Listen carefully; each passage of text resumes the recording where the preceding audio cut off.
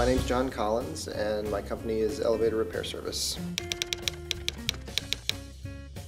Elevator Repair Service was founded in 1991. We liked working with non-theatrical material as theater.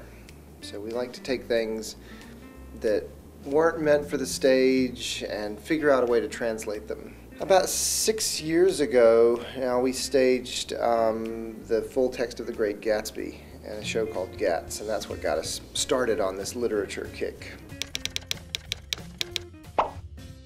I knew that this novel was not going to work the same way The Great Gatsby did, and when we first read it aloud, the dialogue really seemed to sit on that group of actors really well. It, it sounded like them speaking. And there was something I think that we could relate to personally uh, about it too, because we're a group of people who've been doing a lot of traveling together.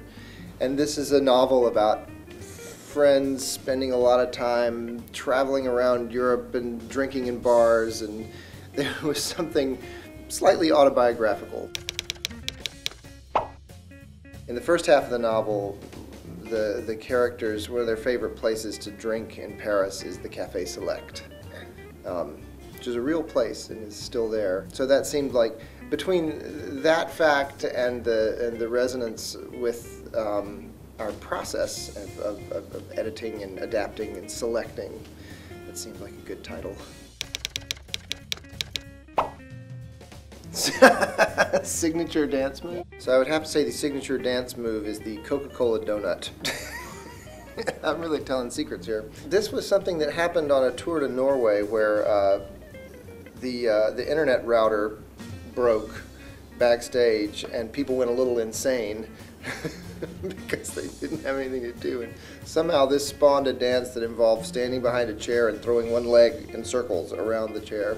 And somehow I was I was out watching the show while this was all going on, but somehow that that earned the name Coca-Cola Donut.